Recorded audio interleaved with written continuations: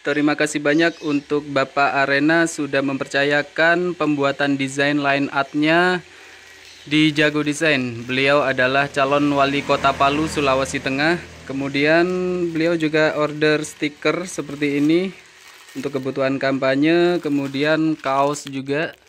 Ini kaosnya memakai bahan katun combat premium 24S. Sangat bagus sekali untuk bahannya.